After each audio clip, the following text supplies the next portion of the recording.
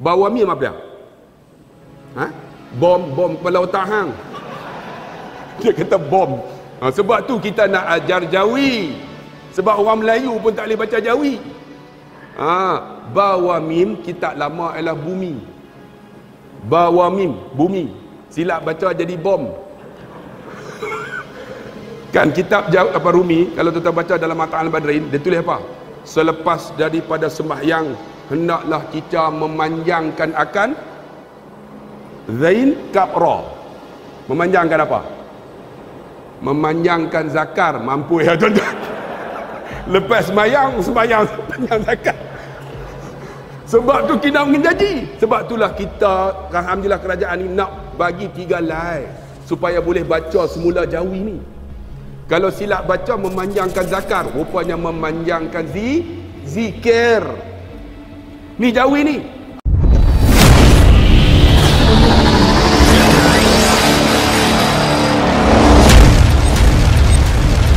محمدا عبده ورسوله. سيد المرسلين صلوات الله وسلامه عليه وعليهم أجمعين. قال الله تعالى في القرآن الكريم بعد أعوذ بالله السميع العليم من الشيطان الرجيم. يا أيها الناس اتقوا ربكم الذي خلقكم من نفس واحدة وخلق منها زوجها وبث منهما رجالا كثيرا ونساء واتقوا الله الذي تساءلون به والأرحام إن الله كان عليكم رقيبا أما بعد Tuan-tuan dikasihi rahmati Allah yang saya kasihi pengacara majlis yang berusaha pengurus masjid ahli jawatan kuasa, tuan imam, tuan-tuan sidang hadirin yang dikasihi sekalian. Alhamdulillah kita menyambut akan ma'al hijrah. Tuan-tuan, hijrah ini berlaku bukan pada tanggal 1 Muharram. Kalau tuan-tuan baca dalam uh, sirah Ibnu Hisham ataupun Ibnu Ishaq, hijrah berlaku pada tanggal 27 Safar.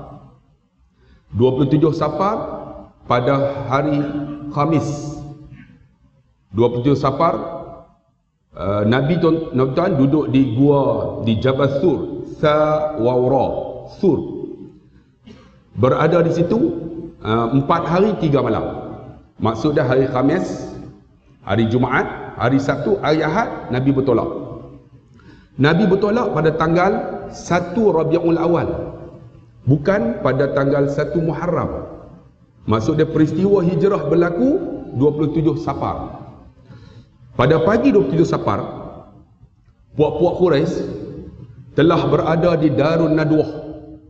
Darun Nadwah ini ialah satu tempat yang mengasaskan, membina ialah Qusay bin Kilab. Qusay bin Kilab ni ialah nenda Nabi SAW. Di Darun Nadwah ni, mereka puak-puak Quraisy berkumpul. Kepala dia, ketua dia, mereka lantik namanya Umar bin Hisham. Kalau sebut Umar bin Hisham, tuan-tuan tak kenal. Tapi sebenarnya Umar bin Hisham ada lakab, ada gelaran dia. Umar bin Hisham, gelaran dia adalah Abu Jahal. Abu Jahal tuan-tuan kenal lah. Kan? Nabi pernah berdoa, Allahumma hdi ila Umarain. Berilah hidayah kepada dua Umar. Umar yang pertama ialah Umar bin Hisham, Abu Jahal. Umar yang kedua ialah Umar bin Al-Khattab. Allah buka pintu hidayah kepada Umar Al-Khattab. Abu Jahal ni dia jadi pengurusi. Pengurusi dalam mesyuarat. Apa tujuan mesyuarat tu? Untuk nak bunuh Nabi SAW. Abu Jahal ni kalau tuan-tuan dalam bahasa Arab, Abu ni bapa. Jahal tu maksud apa? Bodoh. Digelar bapa bodoh. Dia ni tuan-tuan dalam benda baik, dia jadi bodoh. Tapi kalau benda tak baik, dia jadi cerdik. Dalam masyarakat kita ada tak? Ada. Okey, dalam mesyuarat, mesyuarat. Nak buat apa? Nak buat ma'al hijrah. Tanya pendapat, dia jadi bodoh. Uh, kita nak buat ma'al hijrah ni, nak panggil Ustaz Allah Khairi. Dia tak cakap apa. Apa tak cakap? Nak bagi cadangan mutak keti. Kan? Tapi bila ni kita nak buat sambutan tahun baru, nak buat apa? Dia awal-awal angkat tangan. Karaoke. Ha, dia awal sekali. Ada tak dalam masyarakat kita? Ada. Inilah Abu Jahal.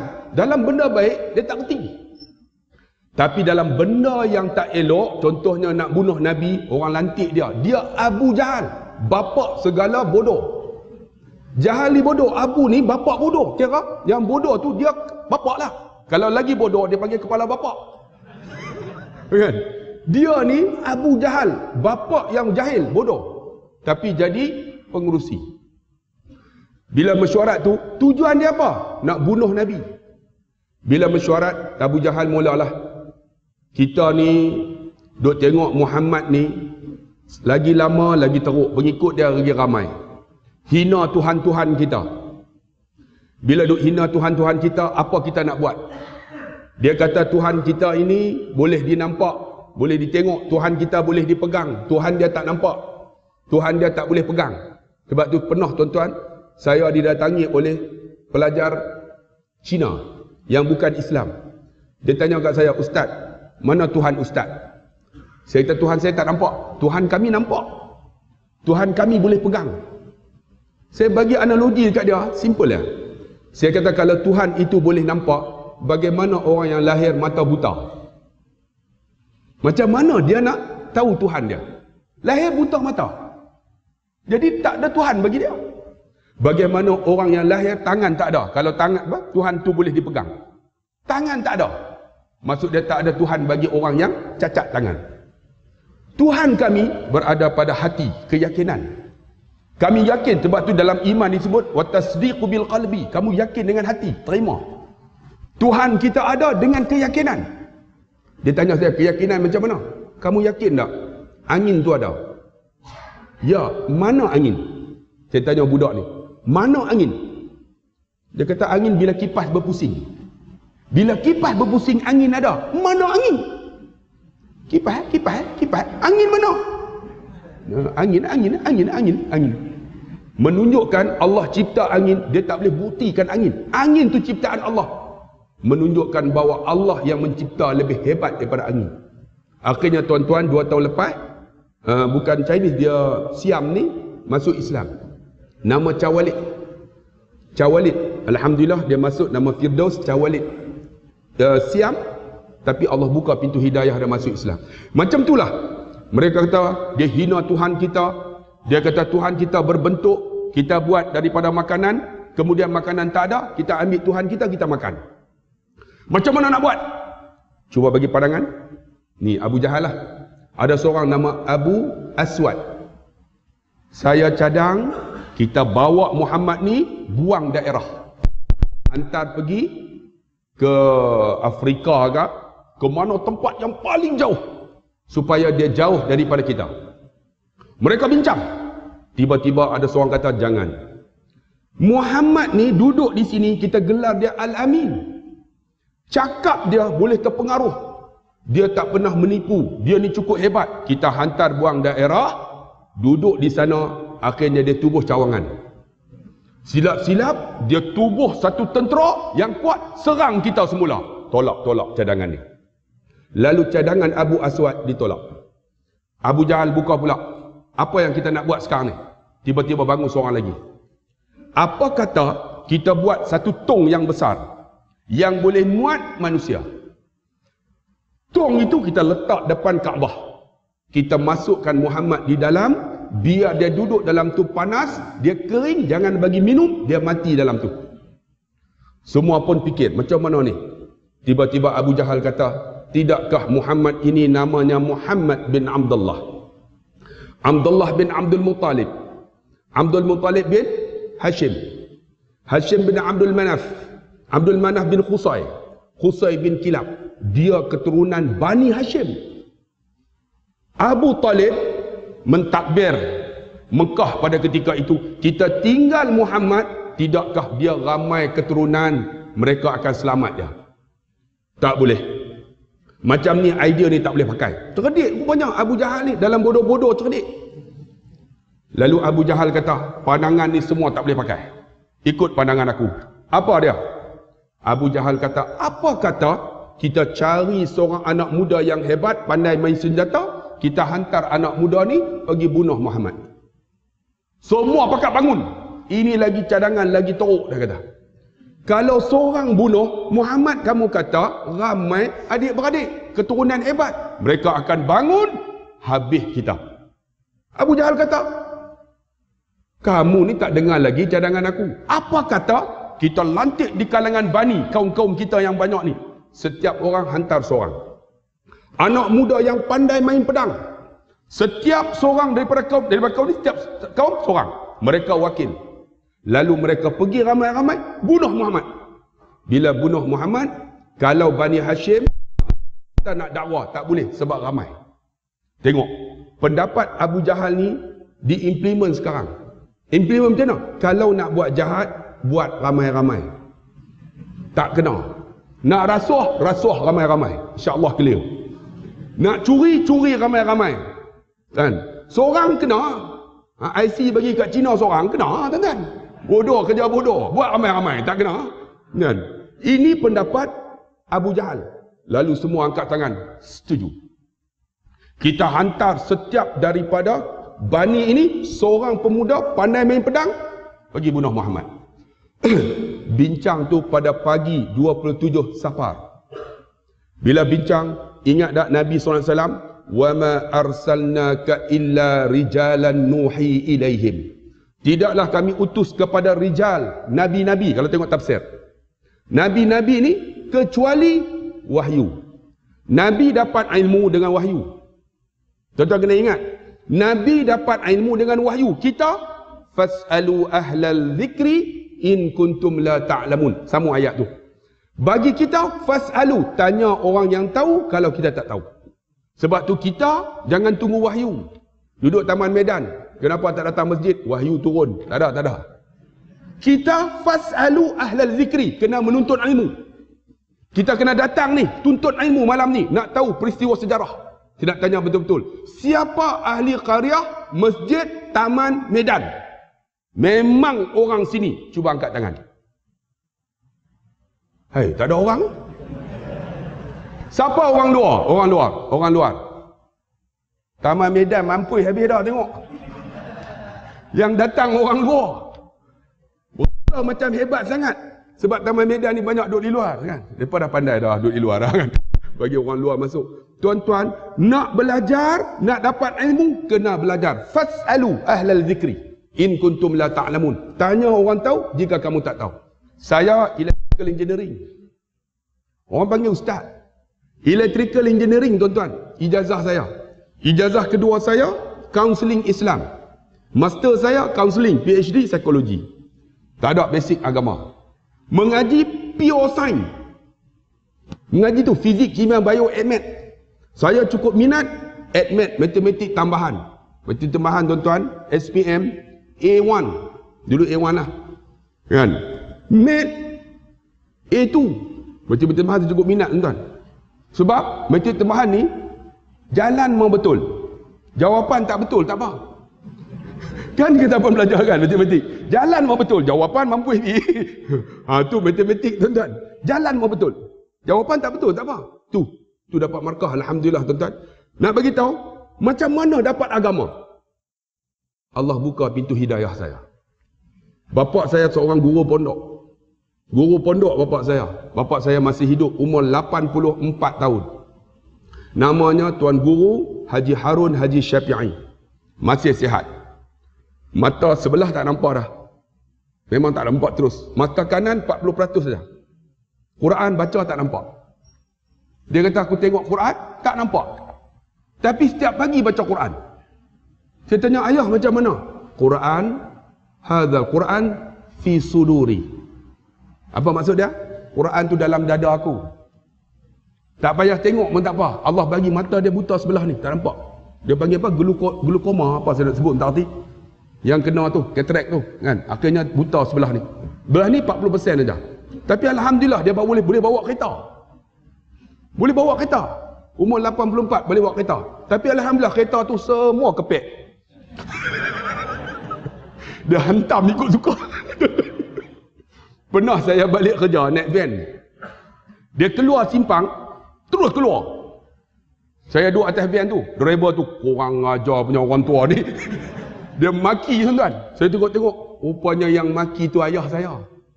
Saya kata, pakcik, siapa maki, kenapa maki kereta tu? Keluar tak bagi signal dia kata. Saya nasihat tak hentam dah. Saya kata pak cik, driver tu ayah saya. Oh minta maaf tak minta maaf. dia tak nampak tuan-tuan. Walaupun tak nampak, Allah bagi Quran di dada. Orang baca silap, dia tahu baris bawah ke atas. Sebab apa? Dia nahu dia, jangan tanya. Dia boleh i'rab Al-Quran. Orang mengaji bahasa Arab tahulah. I'rab Al-Quran ni, dia boleh tahu. Baris tu betul atau tidak. Tapi Allah bagi dia tuan-tuan panjang umur. Saya dapat ilmu macam mana? Berguru dengan dia. Duduk masa mata dia masih elok. Saya buka kitab. Kitab kuning tu. Kitab yang tulis jawi tu. Kitab lama. Tuan-tuan ada kitab lama? Yang bawa mim. Bawa mim apa dia? Ha? Bom, bom kepala otak hang. Dia kata bom. Ha, sebab tu kita nak ajar jawi. Sebab orang Melayu pun tak boleh baca jawi. Ha, bawa mim kitab lama ialah bumi. Bawa mim bumi. Silap baca jadi bom. kan kitab apa Rumi kalau tuan baca dalam Mata Al-Badrin dia tulis apa? Selepas daripada sembahyang hendaklah kita memanjangkan akan zain kapra. Memanjangkan apa? Memanjangkan zakar mampu ya tuan-tuan. Lepas sembahyang, sembahyang panjang zakat. Sebab tu kita menjanji. Sebab itulah kita, Alhamdulillah kerajaan ini nak bagi tiga lai. Supaya boleh baca semula jawi ni. Kalau silap baca memanjangkan zakar. Rupanya memanjangkan zi, zikir. Ni jawi ni. Ada orang imam tuan-tuan. Dia tulis jawi baru. Saya pernah dengar ni khutbah baca. Hendaklah tuan-tuan. Kita mendirikan Islam. Dan kita mestilah ke metod ke metod kap mim waw ta waw ta committed ke metod tuan-tuan habislah Islam kita sebab tu kena mengaji jawi. Saya mengaji jawi dengan ayah saya. Pernah tuan-tuan di kampung saya datang pelajar Universiti Islam Antarabangsa. Jawi ni tuan-tuan sekarang ni dibarukan. Dibarukan. Dia baca Alhamdulillah. Teks ni ditulis oleh pelajar universiti Islam. Dia naik dia baca lah, wakil lah. Alhamdulillah lepas itakullah, kita menerima kunjungan daripada pelajar Universiti Islam Antarabangsa. Ini orang seronok lah. Iaitu daripada Fa, Kak Waw, Taya, Fakul, Fa, Wa, Kak Wa, Lam, Taya. Dia baca apa? Kita menerima kunjungan daripada Pakulantai, Pakulantai Pengajian Islam paku lantai rupanya fakulti jam tuan sebab tu kena belajar jawi nak faham agama ni tuan-tuan jawi kena tahu. Maksud dia bahasa Arab. Paku lantai fakulti. Satu kampung tuan-tuan di Penang. Ni ceritalah. Dia baca khutbah empat tajuk. Uh, Rabiul Awal uh, Muharram tu. Muharram Rabiul Awal Mi'raj Raya. Dia naik tu, orang semua tahu dah. Rabiul Awal. Anak muda ni bengang. Satu hari tuan-tuan, kitab yang empat tu, dia orang curi. Dia orang ambil di atas tu, sebab dia tinggal. Dia tinggal atas tu, dia naik-naik, dia baca dah, siap dah. Rabiul Awal. Tiga bulan Rabiul Awal. Jadi orang boleh hafal lah. Kan? Jadi anak muda ni bengang, naik, dia orang curi. Dia orang simpan. Dia orang letak yang majlis agama punya. Letak. Takutlah nanti khatib naik-naik tak ada teks pening tuan-tuan. Dia pun naik-naik lepas lepas innallah tu tengok-tengok. Allah mana kitab aku ni? Ha, dia tak ada lah majlis agama boleh lah. Tulis jawi. Boleh baca ha? Dia pun baca lepas alhamdulillah ittaqullah. Tajuk khutbah saya penyalah gunaan dadah. Yang tukar kitab tu dia orang baca teks kita alhamdulillah dadah. Hendaklah kita menjauhi dadah-dadah yang menjadi musuh kepada negara. Iaitu Heja Jawi Harawaw Amzah Yanun Heroin Min Fawaw Amzah Yanun Morfin Kokin Kakwa Kakwa Amzah Yanun Dia tak pernah baca Dia duduk baca empat tajuk ya Dia tengok-tengok ni Apa menatang ni Hentamlah hmm, Dia orang bukan tahu dia pun naklah kita menjauhi dadah-dadah yang menjadi musuh kepada negara iaitu heroin, morfin, kokoin. Tuan-tuan bajang heroin tu jadi heroin. Kokin jadi kokoen, morfin jadi morfoen. Yang bawah tu duduk, eh dadah baru ke ni? Tak pernah dengar ni tuan-tuan. Akhirnya ada seorang tu dia teringat. Silap dia pun. Puh, dia gelak. Pakat gelak habis. Hari itu Jumaat, Lim dengan Yaakob lingkup terus tuan-tuan. Sebab tu nak faham agama bukan baca dengan rumi. Sebab kitab Jawi ni tuan-tuan, Allahu Akbar, tuan-tuan baca cukup dalam ilmunya. Sebab bila boleh baca Jawi, tuan-tuan tengok kita akan tahu sedikit tentang bahasa Arab. Sebab tu saya belajar agama dengan bapa saya, baca Jawi. Baca jawi tu kitab lama tu. Baca, bila baca tak betul. Kemudian lepas baca jawi, dia ajar saya macam mana nak baca kitab Arab. Baca kitab Arab. Baris kena betul. Bila nak tahu baris, kena tahu nahu. Kalau nak tahu nahu, kena tahu i'rab. Alhamdu. Kita nak baca alhamdi boleh tak tidak? Kena tahu mutadak khabar. Kan? Kena tahu ni, isim fa'il apa semua ni. Kena tahu tuan-tuan. Bila boleh Arab, kita akan faham kitab agama daripada jawi yang bahasa Arab ni. Bila mengaji tu tuan-tuan, Allahu Akbar, baru ada ilmu basic. Dulu mengaji, fizik, kimia, bio, mat, mat tambahan. Tak mengaji. Pendidikan agama tuan-tuan SPM saya hafal lah. Hafal aja. Masuk jawab 10 apa A1. Tapi tak tahu apa. Quran baca ni saya hafal lah dulu. SPM ni hafal lah tuan-tuan. Sebab otak. Otak. Bolehlah hafal-hafal ni pandai sikit lah. Tapi Alhamdulillah bila mengaji semula dapat ilmu dengan berguru. Sebab tu tuan-tuan, saya bukan nak jadi ustaz. Akhirnya bila saya dah boleh baca kitab Arab, saya boleh cakap Arab, saya boleh Arab. Tuan-tuan tahu berapa lama saya belajar bahasa Arab? Tiga bulan. Tiga bulan belajar bahasa Arab. Macam mana kita tahu kalimah untuk bercakap? Dalam bahasa. Bahasa Melayu boleh cakap kerana ada vocabulary, ada vocab bahasa. Ada kalimah. Saya nak pergi kedai, ada kalimah. Kedai saya pergi semua ada. Bahasa Arab macam tu. Nak tahu, kena ada kalimah. Misbahun, lampu. Sa'atun, jam. Misbahun, lampu. Mirwahatun, kipas. Kahrabaiyun, elektrik. Jidarun, dinding. Amudun, tiang. Ardun, bumi. Maktabatun, kursi. Kursiun, kursi. Ha, kursi-kursi sama juga. Kan? Rijalun, lelaki. Nisaun perempuan. Pondanun pondan. tak adalah pondan tak adalah kan. Saya hafal zujajun cermin kan. Nafizatun tingkap saya hafal hafal. Bila hafal saya hafal mula kalimah kan. Yadun tangan kan ainun mata raksun kepala sya'rul rambut hafal ni. Uzunun telinga kan. Ampun hidung sebab tu bila disebut ampun diletak di mana? Ampun tuanku. Hidung tuanku. Ampun tu hidung. Sinun gigi, asnanun gigi-gigi. Famun lidah. Kan? Bila sebut je lisanun lidah, famun mulut. Raqabatun tengkok. Lehyatun janggut. Sadiun tetek. Tu saya hafal semua ni. Bila hafal, saya atur kalimah. Bila atur kalimah, tiga bulan boleh cakap Arab. Agama, boleh tuan-tuan. Syarat dia, kena sungguh-sungguh. Tiga bulan boleh cakap Arab, boleh tulis. Ayah, saya nak ambil empat sanawi. Masa tu umur saya 26 tahun. Jangan tuan-tuan kata saya tua 50. Ingat, Abu Laid Samarkandi menulis Tambihul Ghafilin umur 50 tahun. Abu Laid Samarkandi yang menulis Tambihul Ghafilin umur 50. Ada di kalangan kita. Hmm, saya pencin tak mau buat apa. Oi, jangan. Ilmu kena belajar. Umur 26 ambil empat sanawi. Empat sanawi ni macam sijil tinggi agama. Jadi saya pun pergi daftar. Daftar sebagai pelajar tumpang. Pelajar tumpang ni tuan-tuan pergi sekolah duduk di belakang sekali lah. Masa tu saya anak tiga orang. Jadi bila duduk tu anak saya duduk lari kat luar. Isteri saya jaga. Pengawas, ketua pengawas masuk. Masuk-masuk dia tengok saya dengan jambang ni. Dengan misai penuh. Dia kata apa? Cik, waris tak boleh tunggu dalam kelas, dia kata. Ni bilik peperiksaan. Dia ingat saya waris. Saya kata saya bukan waris, saya pun nak periksa juga.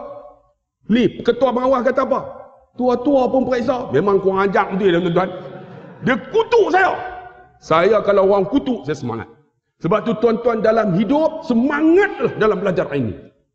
Belajarlah, tak rugi tuan-tuan. Kita faham agama dengan ilmu yang kita buat, kita beramal dengan ilmu lebih hebat tuan-tuan daripada kita ikut Akhirnya saya ambil tuan-tuan belajar periksa tu 20 subjek semua Arab. Jawab semua. Betul tak betul jangan kira. Yang penting jawab. Keluar keputusan saya dapat pangkat dua. Jahit jidan. Saya balik tunjuk ke ayah. Ayah. Kenapa seronok sangat? Alhamdulillah ayah. Jahit jidan. Pangkat dua. Pangkat pertama mumtaz. Yang kedua jahit jidan. Yang ketiga jahit. Yang keempat makbul. Dia kata hebat. Hang dia kata tiga bulan, empat bulan lah belajar bahasa Arab. Boleh dapat jahit jidan. Aku mengaji tujuh tahun pondok, ambil dapat makbul dia kata. Pangkat empat. Pergi mengaji lagi. Saya semangat nak mengaji apa? Dia kata pergi mengaji ambil diploma bahasa Arab. Saya ambil diploma bahasa Arab di Institut Ilmu-Ilmu Islam Abin. Ambil di situ. Rupanya mengaji di situ tuan-tuan. Guru ni memang orang Arab sungguh. Arab yang tak boleh cakap Melayu. Dan tak boleh cakap orang putih. Dia boleh cakap apa? Arab semata-mata. Alhamdulillah tiga tahun tuan-tuan dapatlah diploma bahasa Arab. Kemudian bila dapat saya sambung pula ambil ijazah dalam pendidikan Islam. Tengok ini rentetan saya. Saya mula mengajar umur saya 40 tahun. 40 tahun jadi ustaz. Umur 40. Jangan ada di kalangan kita kata, hmm, saya dah 50, malas ya kata. Nak tunggu nak mati ya. Memang mati. Memang mati. Umur saya sekarang 51. Kawan-kawan tuan-tuan, semua mengaji akademik. Tak ada jadi ustaz. Tak ada jadi ustaz. Tapi saya jadi ustaz. Bila jadi ustaz biasalah. Dia orang lantik saya jadi pengurusi alumni. Baru ni jumpa-jumpa tuan-tuan, kami ada 36 orang. Enam orang mati dah. Tuan-tuan, enam orang mati dah. Di kalangan kawan-kawan. Tiga orang buah pinggang. Rosak. Seorang ni jantung. Dua orang ni kencing manis. Enam orang mati dah. Kencing manis pun dah. Tapi hak tiga puluh orang tu lagi teruk. Kena kencing. Hak tu teruk tuan-tuan. Hak tu teruk lagi. Nak buat macam mana tuan-tuan? Sebab tu, Alhamdulillah dengan agama Allah angkat darjat. Yarfa'illahu alladhina amanu minkum walladhina utu ilma darjat. Allah angkat. Orang yang beriman iaitu orang yang ada ilmu berapa darjat. Allah angkat darjat. Sebab tu tuan-tuan yang dikasih rahmati Allah. Ketika mana tuan-tuan petang tu, ni cerita balik ni, hijrah tadi ni. Mereka ada mesyuarat putus 20 orang untuk bunuh Nabi. Lantik di kalangan semua ni wakil-wakil daripada kabilah Arab yang duduk di Mekah. Nabi SAW ingat tak? Didatangkan wahyu. Jibril datang. Nabi dapat ilmu daripada Jibril. Jibril datang. Wahai Muhammad, pagi tadi mereka berbincang di Darun Nadwah. Darun Nadwah ni yang tubuh yang buat ialah Qusay bin Kilab. Tetapi tuan-tuan mereka bincang nak bunuh Nenda cicit kepada Qusay bin Kilab. Mereka tak kenang siapa yang membina Darun Nadwah. Mereka berbincang nak bunuh kamu malam ini. 20 orang pemuda-pemuda Quraisy akan datang. Bila Jibril bagi tahu kepada Nabi Muhammad, Nabi Muhammad petang tu pergi jumpa dengan sahabat yang paling kharib. Siapakah sahabat yang paling kharib? Nama Abu Bakar bin Quhafah As-Siddiq radhiyallahu an. Sayyidina Abu Bakar. Sebab tu dalam hidup kita kena ada kawan yang baik di kalangan kita yang disebut sahabat ataupun disebut ikhwan Kena ada tuan-tuan. Ni kita duduk dalam masjid ni, carilah kawan-kawan kita. Sebab kawan-kawan kita esok kalau tengok dalam hadis, dia dah masuk syurga, dia tak nak masuk lagi. Dia akan berjumpa, Ya Allah, masa aku hidup, Ya Allah, aku duduk di Taman Medan, selalu datang dengan kawanku ni, pergi masjid. Mana kawan aku? Ni, orang ni akan tanya. Allah kata dia berada di dalam neraka Allah. Kawan ni akan minta, Ya Allah, tolonglah keluarkan sahabatku ni dia pernah datang masjid. Ni hebatnya orang yang baik. Sebab tu kita kena kawan cari orang yang baik. Kena ada kawan kita. Tuan-tuan ni kita kawan geng yang tak betul. Lama tak betul lah. Ni Nabi cari siapa? Kawan yang paling baik. Abu Bakar As-Siddiq. Wahai Abu Bakar malam ni mereka datang nak bunuh aku.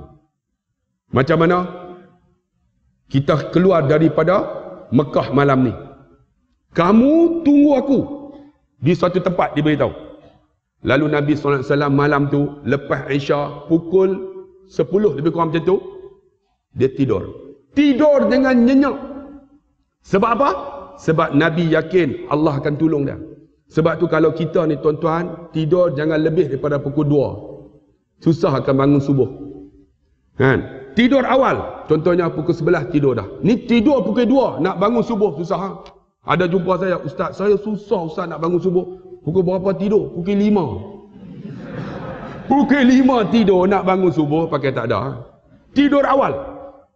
Tidur macam mana? Tidur seperti Nabi. Islam ni tak ada contoh tuan-tuan daripada agama yang lain. Islam ni daripada berak, daripada makan, daripada tidur, daripada berjalan, daripada apa nak buat, semua ada. Agama lain tak ada.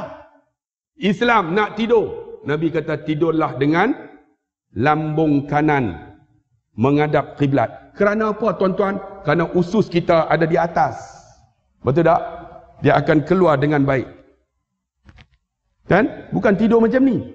Tidur macam tu tu yang jadi tak elok. Tidur macam ni. Supaya apa? Usus ni dia akan proses terus keluar ke rektum tu untuk buang najis. Nak tidur macam mana? Lunjurkan kaki. Nabi ajar. Kemudian baca doa tiga kul. Ni Nabi ajar. Ada tak agama lain ajar macam ni? Tak ada. Sebab itulah Firdaus Wong masuk Islam. Kerana apa? Kerana Islam. Islam ni punya dahsyat. Nak tidur, lunjurkan kaki baca doa. Tiga kul. Bukan tiga kul tu. Kul, kul, kul. Dah. tiga kul tu. Kul huwallah tiga kali. Nabi ajar. Kul a'udhu rabbi falak tiga kali. Kul a'udhu rabbi nas tiga kali. Kemudian, tu. Tarik. Insya Allah syaitan tak akan ganggu abang. Sama juga dengan makcik. Syaitan tak akan ganggu makcik. Kecuali suami makcik.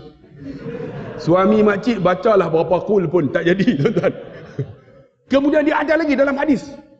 Nabi kata apa? Sebelum kamu tidur bacalah Allahumma aslamtu nafsi ilaika wa wajjahtu wajhi ilaika wa fawwaztu amri ilaika la malja'a wa la manja minka illa ilaika Allahumma amantu bi kitabika alladhi anzalta wa nabiyyika alladhi arsalta. Tuan-tuan pernah baca tak?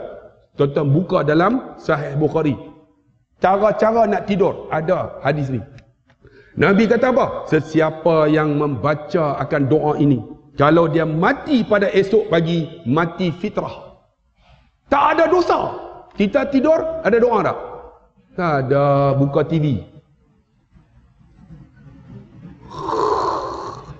Mati, saya jamin surga. Jamin surga apa? Doa apa? Apa tak baca? Nak tidur, Nabi ajar. Tengok tertibnya Islam. Nak pergi berak.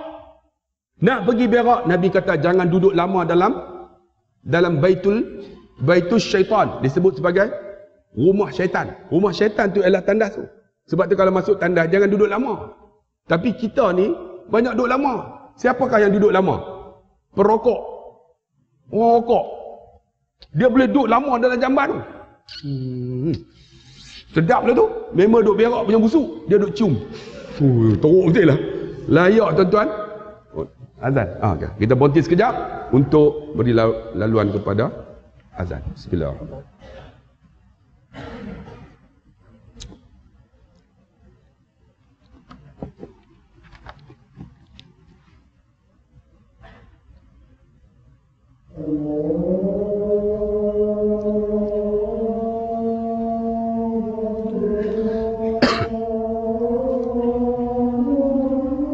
الله أكبر الله أكبر.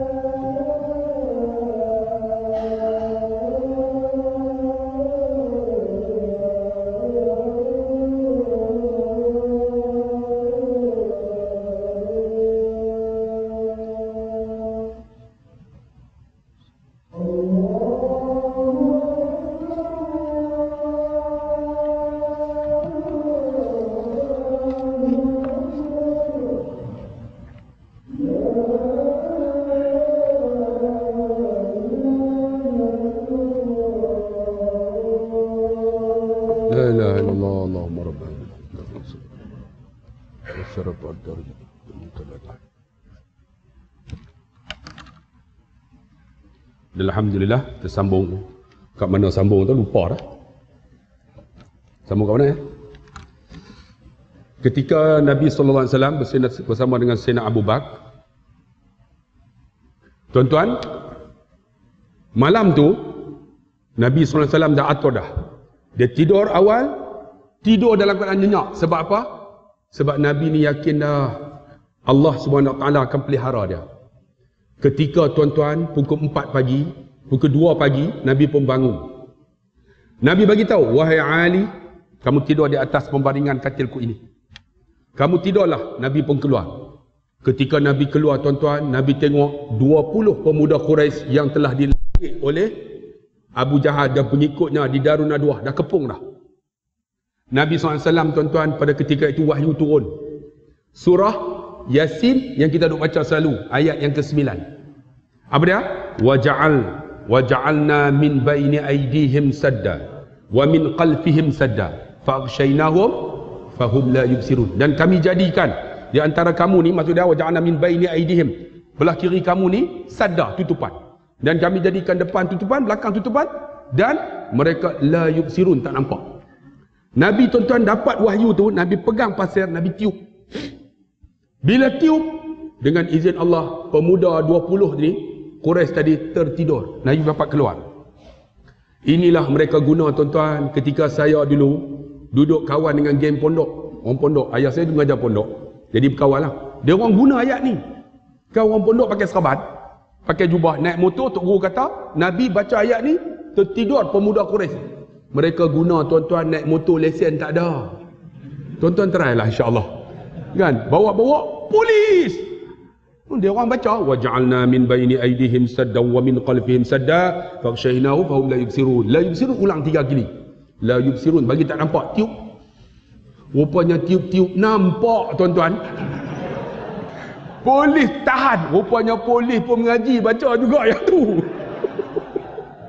Lah ni polis pada cerdik dah tuan-tuan. Dah berilmu dah. Hmm, terus tarik masuk balai terus tuan-tuan. Nah, jangan-jangan. Ayat Quran jangan buat main-main. Nabi baca tuan-tuan. Wahyu turun.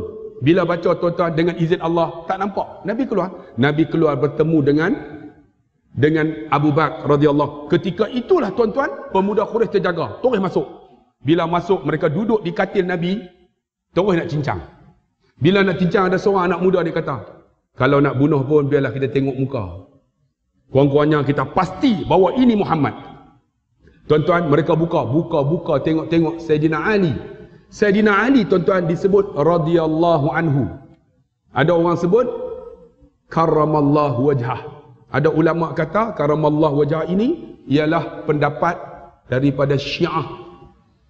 Sebab sahabat Nabi semua radhiyallahu anhum. Allah redha kepada mereka. Tapi Sayyidina Ali disebut sebagai karamallah. Allah pelihara wajahnya. Setengah ulama kata ini ialah laqab gelaran daripada Syiah. Ha, karamallah ada setengah betul juga. Karamallah ni Allah pelihara wajah Sayyidina Ali tak pernah tengok kemaluan dia. Sayyidina Ali tak pernah tengok kemaluan dia. Sebab perut dia buncit. Tak pernah tengok kemaluan dia. Kita jangan tanya. Lepas macam mana wajah nak berseri duk tengok kemaluan kan? Ha, karena siapakah Sayyidina Ali ni? Menantu Nabi SAW. Tuan-tuan bayang dalam buat benda yang pasti sama ada hidup mati, dia bagi keluarga dia dulu. Kita benda mati bagi ke orang lain. Ha, Nabi benda hidup mati bagi saudara dia dulu. Ini tengok Nabi SAW. Bagi siapa? Menantu dia. Tuan-tuan bayang tengok. Ni hidup dan mati ni. Akhirnya tuan-tuan Sayyidina Ali ni tuan-tuan kahwin dengan Fatimah. Daripada Sayyidina Ali lah keluar. Generasi berikutnya yang Nabi kata akan lahir daripada Sayyidina Ali inilah. Daripada Sayyidina Hasan. Iaitu Imamul Mahdi. Akhir zaman nanti. Dan Alhamdulillah, Sayyidina Ali lah tuan-tuan, menantu yang Nabi sayang. Sebab apa? Sebab dia menantu, bukan saja menantu, sahabat Nabi. Satu ketika penuh, Nabi balik daripada peperangan, Nabi letih.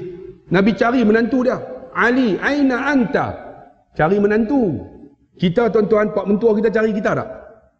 Dia kata hantu tu balik lagi hantu tu. Dia tak kata menantu. Hmm, hantu tuan-tuan. Kita tak pandai ambil hati. Ni Sayyidina Ali tuan-tuan. Aina Ali? Aina anta? Mana Ali? Ali kata ana hina. Aku di sini. Ijlis ya Ali. Dia suruh Sayyidina Ali duduk. Bila duduk tuan-tuan, dia terus letakkan kepala dia atas reba Sayyidina Ali. Tuan-tuan saya nak tanyalah, tuan-tuan ada menantu. Tuan-tuan pernah tak tidur atas reba menantu? Saya menantu saya mamak, saya tak sanggup tidur.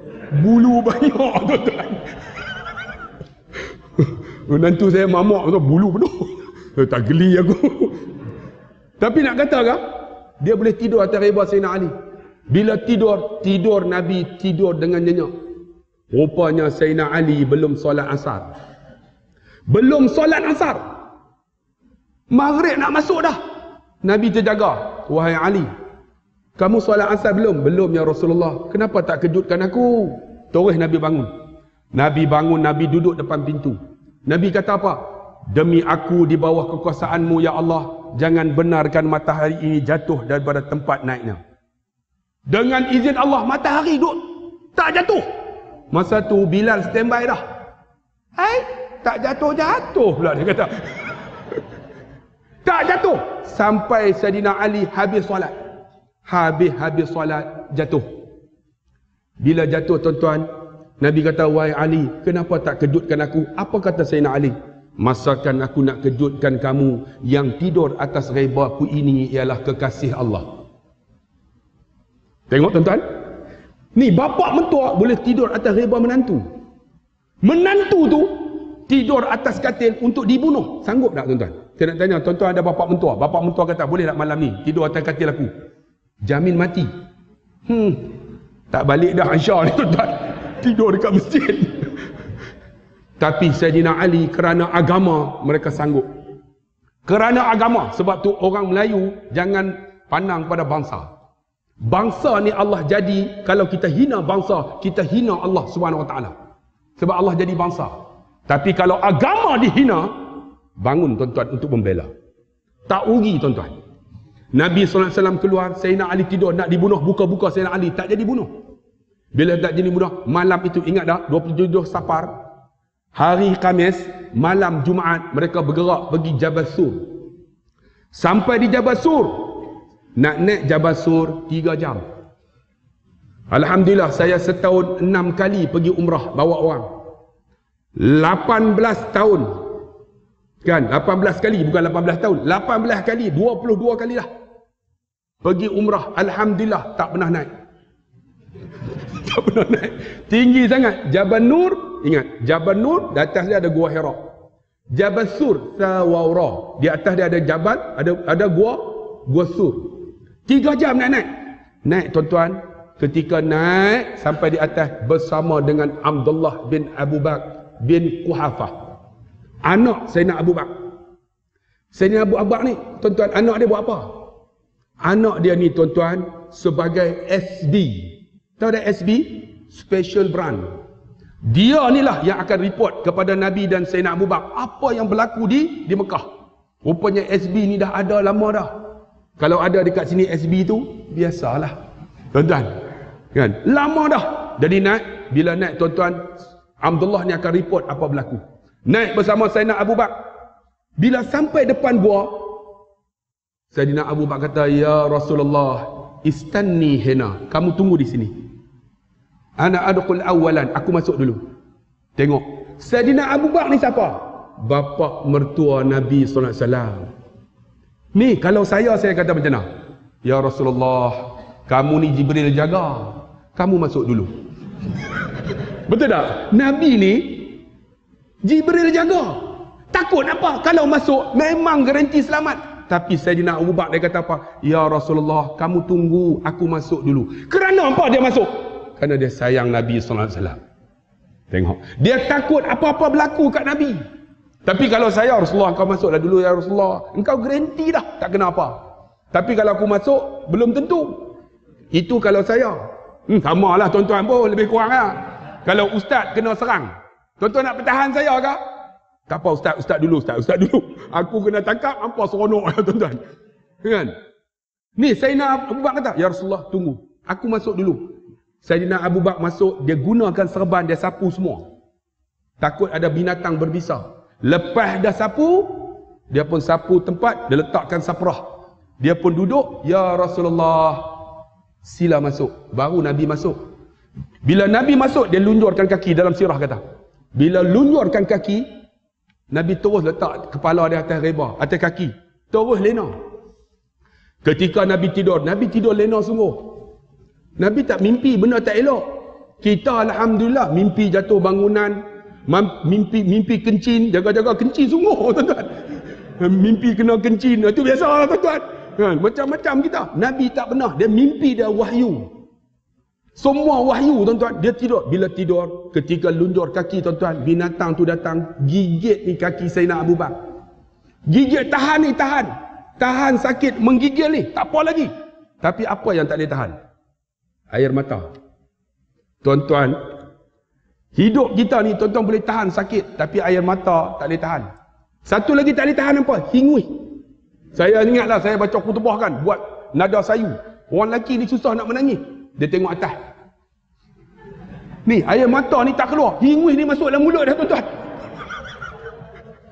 Biasa kan? Ni saya nak Abu Bakar tahan ni, tahan ni, menggigil ni. Bila tahan tuan-tuan air mata tak boleh tahan.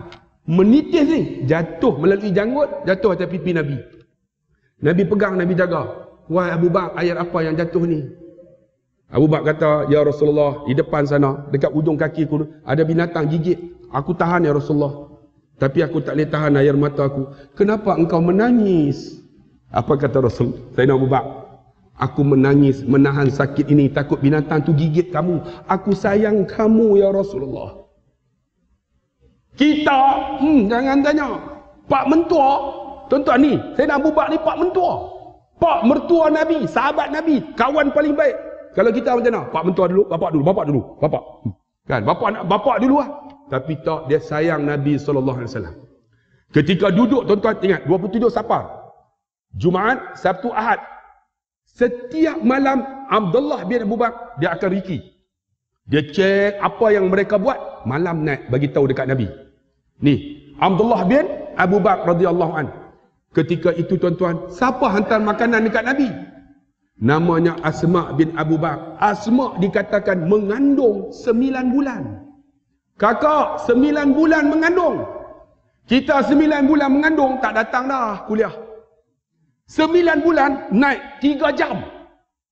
Saya tak sanggup naik, walaupun saya tak mengandung. Ni ada yang mengandung pun tak pernah naik. Kan? Ni, hantar makanan kepada Nabi SAW. Tengok Nabi ada perancangan cukup hebat. Rupa-rupanya anak kandungan itulah tuan-tuan lahir di Madinah. Kerana apa? Bila Nabi sampai Madinah, puak-puak Yahudi sumpah. Dia kata sesiapa yang datang daripada Madinah, eh, daripada Mekah, mereka tak akan dapat melahirkan anak. Tapi dengan izin Allah tuan-tuan, Allah lahirkan anak daripada Asma. Asma bin Abu Bak. Sumpah tu tak jadi. Tuan-tuan Asma hantar makanan. Sayangnya kepada Nabi dan bapa saudara dia. Kita, isteri kita ada tak?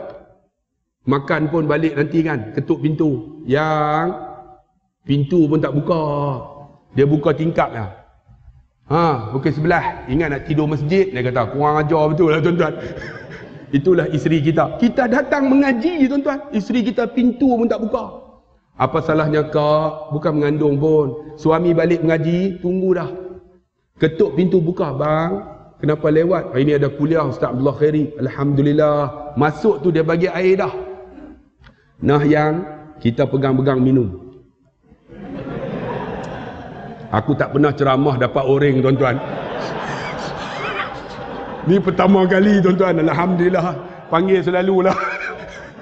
Selalu ceramah air gau lah. Ni air orang ni kira hebat ni. Kan? Masam lah tu. Masam sungguh. Ni, bagi tu suami dalam hati aku redha jamin isteri syurga Allah. Jamin syurga Allah. Isteri kita ada tak? Balik-balik ketuk pintu. Buka! Buka! Buka buka. Air ada tak? Balik lewat air. Pulang peti air. Dibuka peti air haram jadah punya bini. Suami tak redha jamin neraka Allah Subhanahu wa taala. Ni Asma ni hantar makanan mengandung sembilan bulan bang. Sembilan bulan. Kerana apa? Kerana sayang Nabi SAW. Ketika itu juga ada seorang namanya apa? Amir bin Fuhaira. Amir bin Fuhaira ni tuan-tuan, apa tugas dia? Amir ini tugasnya membawa kambing-kambing untuk menutup jalan yang dilalui oleh Asma dan Abdullah bin Abu Bakar. Tengok Nabi ada perancangan. Sebab tu hidup kita kena ada perancangan. Tuan-tuan yang pencen ni ada perancangan tak? Aku lepas pencen ni nak buat apa? Ni ada orang pencen ni aku hmm, nak pergi masjid. Kalau sebelum pencen tak datang masjid, pencen tak akan datang masjid. Buhong ya.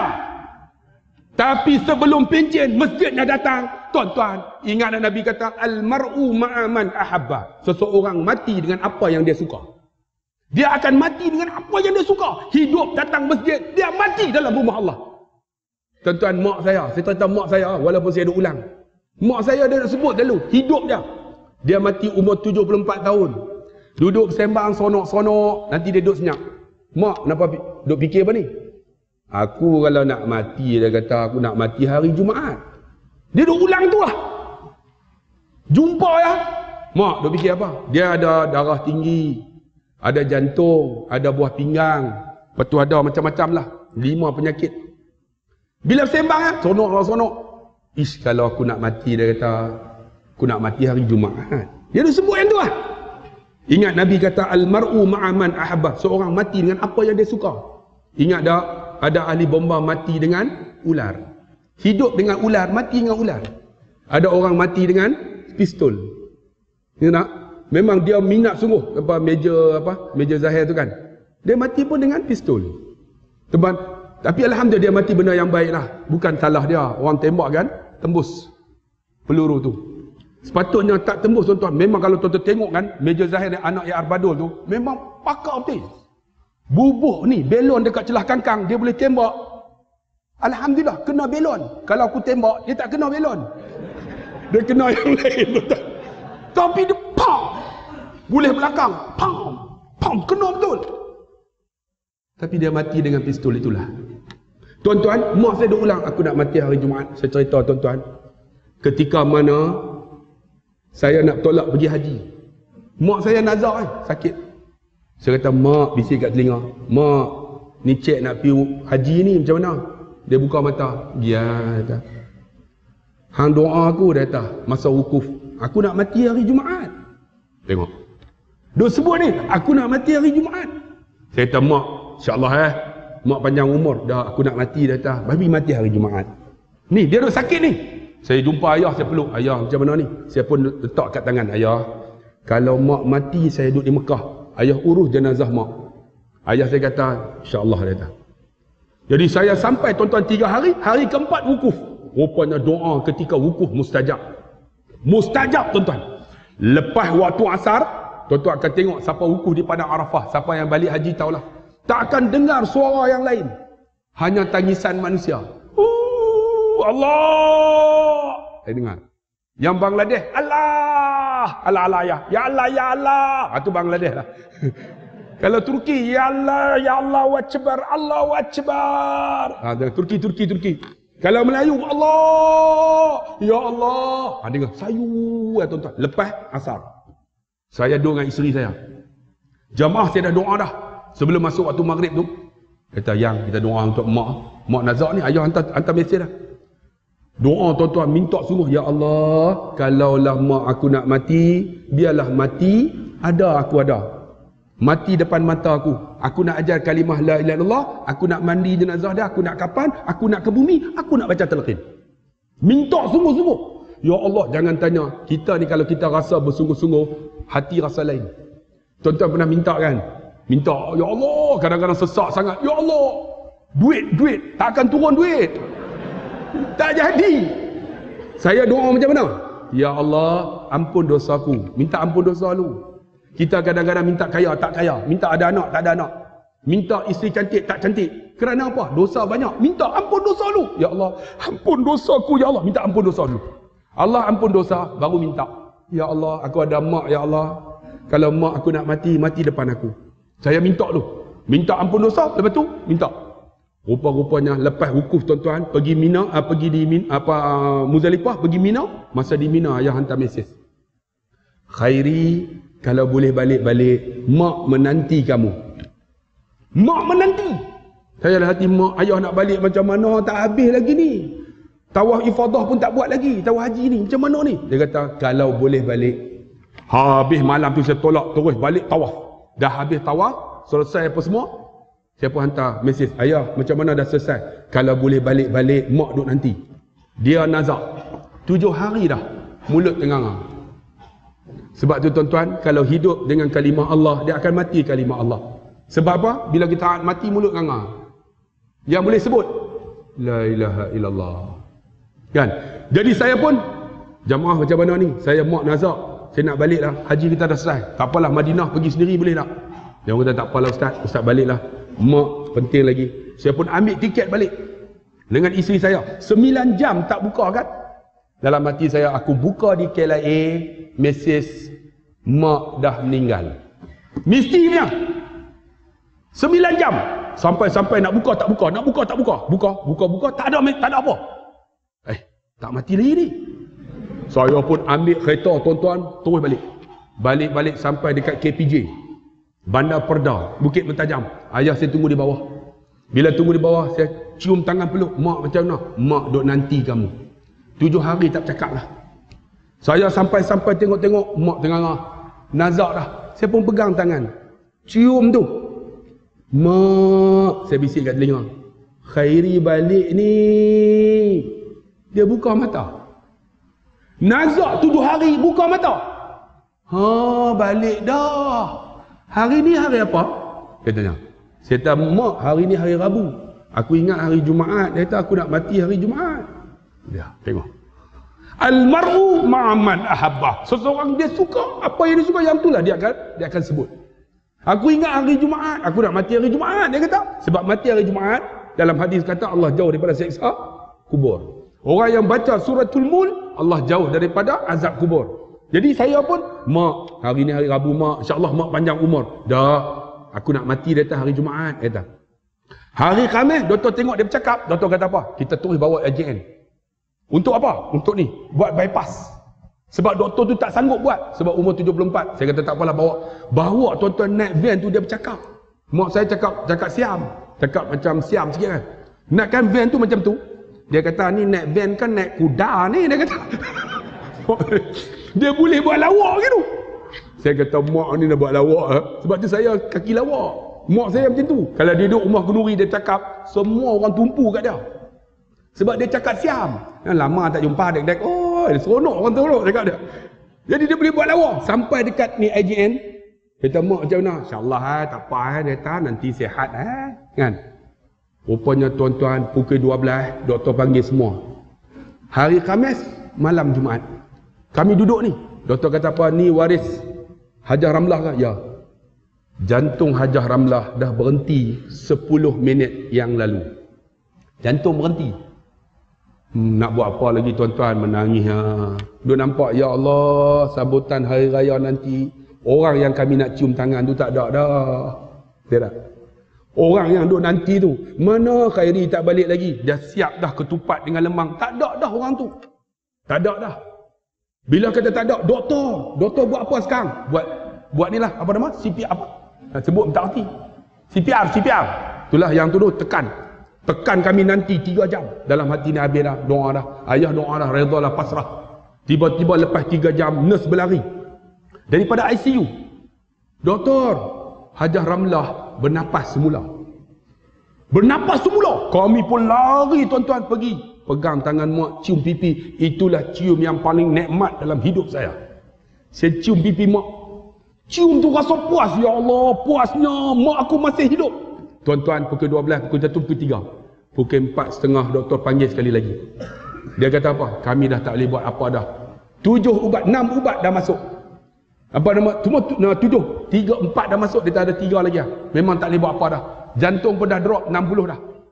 Nadi tu 60. Dia kata serah. Kami ada enam orang. Akhirnya ada cucu 25. Semua hafal Quran. Sambung baca. Lepas baca 10 ayat, sambung. Sambung, sambung. 4, 32 memandang menghembus nafas terakhir 4.32 minit pagi pagi Jumaat Pagi Jumaat sungguh. Sebab tu almar'u ma'aman ahabba. Seorang dia akan buat mati dengan apa yang dia suka. Saya nak tanya tuan-tuan masa hidup tuan-tuan apa yang tuan-tuan suka? Kalau suka datang masjid, tuan-tuan akan matilah masjid. Tapi kalau masjid pun tak pernah datang, hmm, mati tak? Jangan duk bawa datang masjid. Kadang-kadang masjid tak pernah datang, mati bawa depan. Imam duduk di belakang. Sepatutnya dia tu semayang kat tandas ya. Sebab dia selalu datang tandas ya. Masjid dah masuk.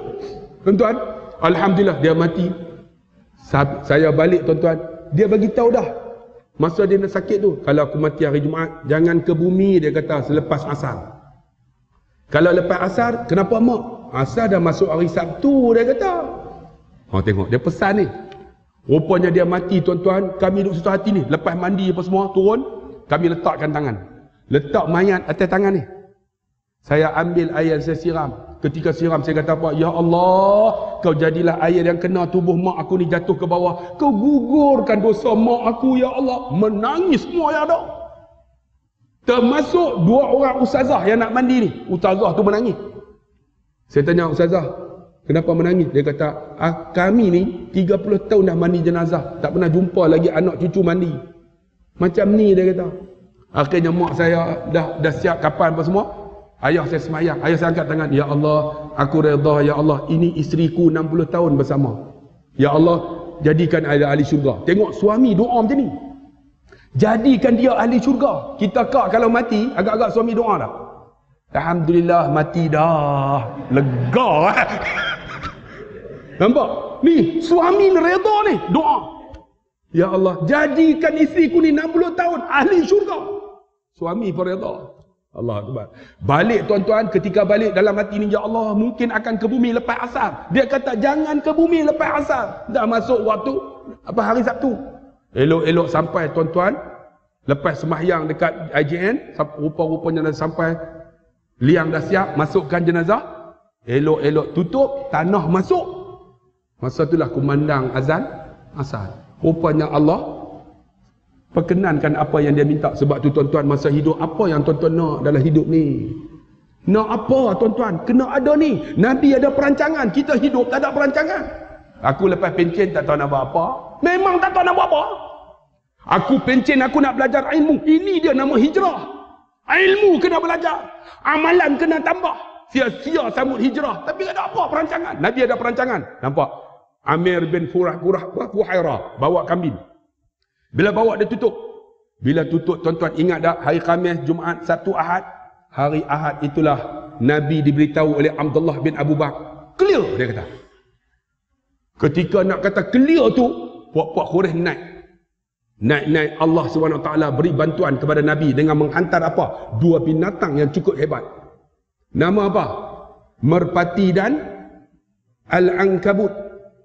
Lebah. Lebah-lebah labah-labah buat sarang, merpati turun bertelur. Kalau kalau tuan-tuan tengok Jabal Nur ni tuan-tuan, saya tak pernah naik lah. Ada orang kata kalau buat macam ni, nampak orang di dalam. Nampak, tapi mereka tak perlu di, diberi idea. Tak turun. Maka Abdullah kata, sekarang boleh clear. Mereka turun. Mereka turun tuan-tuan ketika itulah dinanti oleh seorang nama Abdullah bin Uraiqit Tiqta. Abdullah bin Uraiqit. Siapa Abdullah ni? Abdullah ni bukan Abdullah Khairi. Abdullah bin Uraiqit ni ialah seorang uh, Quraisy yang tidak Islam. Tetapi dia pakar dalam tunjuk jalan. Nampak Nabi menggunakan orang yang bukan Islam yang berjinak dengan Islam. Kita boleh guna orang yang bukan Islam yang jinak dengan Islam. Tapi orang Islam yang tak suka dengan Islam, kita kena tentang. Tapi bukan tentang dengan senjata. Wahai penduduk Malaysia, gunakan kekuatan ekonomi yang kita ada. Orang sekarang ni tuan-tuan, hina agama kita cukup senang. Kita duk hina tak? Kita kata tak Nabi Isa macam-macam? Sebab Nabi Isa tu Nabi kita. Dia tak pernah hina. Tapi orang sanggup hina Nabi Muhammad berzina dengan budak. Kahwin dengan budak umur 9 tahun. Nabi Muhammad ni kata macam-macam. Kita apa yang kita tak ada? Kan? Kita relax ya. Bang, ingat. Nabi gunakan Abdullah bin Uraiqid untuk tunjuk jalan. Bukan Islam. Kita. Ingat umat Islam ada 22 juta di Malaysia ni. 22 juta. Orang bukan Islam 9 juta ya. Sembilan juta. Apa kita nak buat? Wahai yang duduk Taman Medan, buka minda kita, tolonglah beli tuan-tuan produk orang Islam. Sebab apa? Tuan-tuan beli produk orang Islam ni, dia berniaga. Dia akan datang masjid, dia bubuh juga dalam tabung masjid. Dia keluar juga zakat. Ni kita orang Melayu kita ni, kalau buka kedai, kita duduk doa. Hmm, buka kedai, tak lama, mampu heru. Nak bagi mampu heru. Bang, buka minda, support produk orang Islam. BF, BMF. Buy Muslim first. Beli bang. Kalau ekonomi kita naik orang Islam, Nabi hijrah tuan-tuan, mula-mula dia buat apa? Dia bina masjid. Yang kedua dia buat apa? Dia buat pasar. Dia buat pasar ekonomi orang Islam supaya tak dikuasai oleh Yahudi. Buat pasar orang Islam. Kita sekarang ni kena bangun bang, kuasai tuan-tuan lama dah. Kita duduk sabar. Tak apa ah, beli. Kan? Sampai dia duduk satu kedai tuan-tuan, buka dua kedai, tiga kedai. Dat pernah datang masjid tak? Tak apa kita beli kedai dia. InsyaAllah lama-lama dia masuk Islam. Tak masuk-masuk. Saya nak tanya, kedai kita, orang kita orang Islam ni, pernah tak dia orang masuk? Tuan-tuan tengoklah tak pernah masuk kecuali kedai makan. Sebab tak ada sangat dah. Kedai makan dia gagah dah masuk. Kedai tuan-tuan runcit, tuan-tuan buka. Tuan-tuan tengoklah tak ada siapa masuk. Kecuali orang kita Kedai mereka, saya tengok tadi dekat apa, saya pergi nilai. Aion. Nama Ahsing Laksa. Ahsing. Orang Melayu penuh-penuh. Ahsing. Bukan nak kata bangsa. Tapi nak bagi tahu mereka hina agama kita. Kita buat apa? Kita relax tak ada apa. Duk support macam tu lah. Weh bukalah minda. Woi. Kan support produk orang Islam. Support produk yang dah keluar zakat. Keluar zakat, keluar sedekah. Dia bantu kita. Tuan-tuan tengok orang Islam naik ni, dia tak akan lupa orang kita. Tak akan lupakan agama ni. Pokoknya datang masjid tuan-tuan. Kita tengok kedai dia maju. Pergilah pengusi. Bang, kapet tak ada siapa tukar. Takkan dia tak bagi RM50? 100? Ni kan, aircon dah ada. Ni nak bayar elektrik. Takkan dia tak bagi? Ada tak tuan-tuan pergi kedai orang bukan Islam? Uh, masjid kita nak bubuh uh, aircon. Dia bagi tak? Tak ada harapan bang. Sebab tu sekarang bukan minda tuan-tuan. Nabi guna Abdullah bin Uraiqid tunjuk jalan. Akhirnya apa yang berlaku tuan-tuan? Abdullah tuan-tuan pada petang hari Ahad. Maksud dia apa? Satu Rabiul Awal. Nabi hijrah Rabiul Awal. Hijrah tuan-tuan, Abdullah ni bawa melalui Laut Merah. Bila bawa, Abdullah ni pegang unta. Sayyidina Abu Bakar, dia duduk di belakang. Ketika di belakang, dia ke depan. Lepas depan, dia belakang pula. Nabi kata, wahai Abu Bakar, kenapa engkau belakang depan? Aku takut ya Rasulullah, aku duduk di depan, aku takut musuh serang di belakang. Aku duduk di belakang, aku takut musuh serang di depan. Aku takut engkau engkau dikasari. Tengok sayangnya. Ketika jalan tu, Abdullah bin Uraqid ni duduk di bawah. Sayyidina Abu Bakar duduk di atas dengan Nabi. Tiba-tiba nampak debu. Debu ni, tinggi ni. Nabi kata, MC jalan, jalan, jalan, jalan, jalan. Nak Abu Bakar tengok belakang tu, debu tu. Rupanya tuan-tuan, di belakang itu namanya Surakah bin Malik. Surakah ni dengar berita, sesiapa yang dapat tangkap Muhammad sama ada hidup ataupun mati, kami akan memberi ganjaran kepada dia seratus ekor unta. Tuan-tuan tahu seekor unta harga dia berapa? 16 ribu. Kalau seratus, satu perpuluhan, 6 juta. Betul tak? 16 ribu kali dengan 100 betul tak? Betul 160 ribu Ustaz kira ingat saya lemah matematik kan? kan? 16 ribu kali dengan 100 ekor berapa? berapa Ustaz? 1.6 juta ha, 1.6 juta nak bunuh Nabi SAW tuan-tuan apa nak jadi pun kejar kejar ni Surakah bin Malik Surakah nak sampai dekat Nabi tuan-tuan dicerita dalam dalam sirah kuda dia terperosok ni kaki ni masuk dalam. Dalam ni dalam jelus apa? Pasir. Jatuh. Dia jatuh. Nabi berhenti.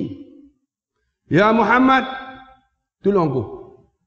Bila nabi tengok kuda tu naik semula. Dia naik nak bunuh nabi lagi. Jatuh lagi. Jatuh kali ketiga. Dia kata apa? Wahai Muhammad tolong aku ya Muhammad. Nabi kata apa? Wahai surakah mau tak? Kamu balik tutup mulut. Aku janjikan kamu kalung maharaja Parsi Ni janji Nabi ni. Kalung Maharaja Parsi diterima sungguh oleh Surakah. Ini bukan manusia biasa ni. Balik tutup sungguh. Ketika tuan-tuan jatuh kerajaan Parsi di tangan Sayyidina Umar masa tu. Mereka bawa kalung Maharaja Parsi ni balik jumpa Sayyidina Umar. Sayyidina Umar pegang ni. Sayyidina Umar kata apa? Mana Surakah bin Malik? Surah kata saya, ya Amir Mukminin, mari. Dia pegang tu dia kalung. Surakah kata apa? Rupanya benar janji Nabi SAW. Peristiwa tu berapa tahun dah. Sebab tu tuan-tuan kena ingat, janji Nabi, dia Nabi kata apa? Akan berlaku kiamat, dia kata. Akan berlaku kiamat. Tetapi sebelum berlaku kiamat, akan berlakunya dua khalifah saling ber, berberantakan. Lalu terbunuh satu khalifah. Menunjukkan bahawa dekat dengan kelahiran Imam Mahdi. Ni kalau tuan-tuan baca, apa hadis fitan. Ni, tuan-tuan tahu tak sekarang Arab Saudi. Putra Salman ni cerita Putra Salman, dia ada anak nama Putra Muhammad. Muhammad bin Salman. Putra Salman tuan-tuan dilantik menjadi menjadi ketua sekarang ni. Tuan-tuan, dia ada dua lagi tuan-tuan. Ni adik dia ni. Ni adik dia sekarang di penjara dalam rumah. Tuan-tuan tengok sekarang ni berlaku krisis yang cukup besar. Nabi sebut tu sekarang ni tak berlaku. Kalaulah berlaku sama ada Putra Salman ataupun Muhammad ni akan dibunuh. Tuan-tuan tengoklah bahawa kelahiran Imam Mahdi dah hampir. Ataupun Imam Mahdi dah lahir. Dan Nabi sebut lagi di antaranya apa? Ni bangunan tinggi-tinggi. Pencakan langit dekat Kaabah. Satu ketika nanti Kaabah akan diruntuhkan. Ulama berbahas macam mana Kaabah diruntuh. Ada ulama kata akan berlaku gempa bumi. Gempa bumi berlaku, tuan-tuan tengoklah bangunan yang tinggi semua ni akan runtuh. Runtuh kena Kaabah. Kaabah akan runtuh. Semua janji Nabi ni disebut dalam hadis fitan. Hadis-hadis akhir zaman. Di antaranya akan keluar. Apa tuan-tuan? Ni. Awat. Kabut, kabut. Kita tuan-tuan tiap-tiap tahun mesti datang ni kan, jerubu ni. Betul tak? Kita duk fikir, mana ada jurubu ni? Kata bakar dekat dekat Indonesia. Saya pun duk fikir, betul ke? Mungkin bakar sikit, Allah nak uji kita.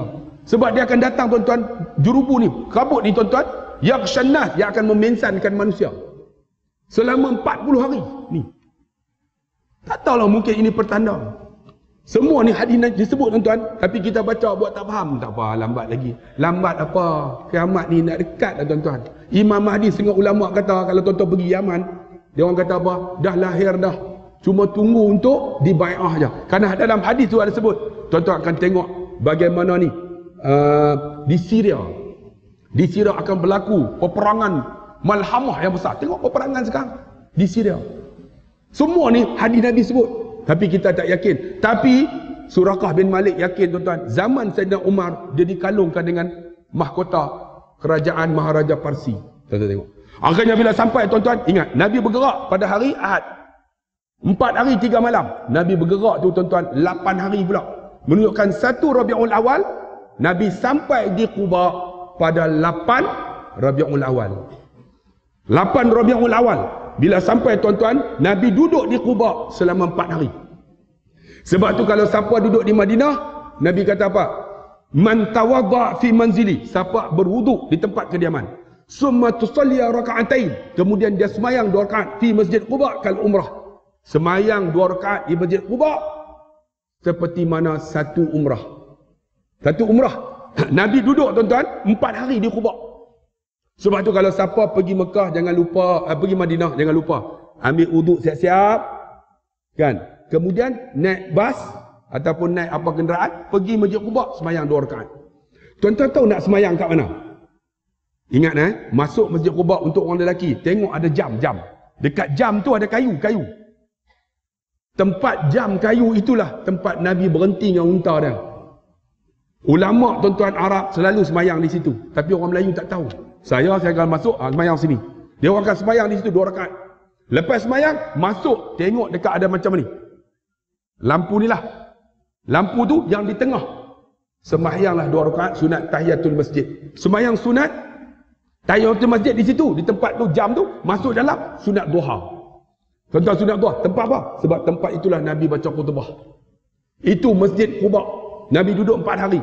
Lepas empat hari, barulah Nabi masuk. Nabi masuk tuan-tuan mereka sambut dengan apa?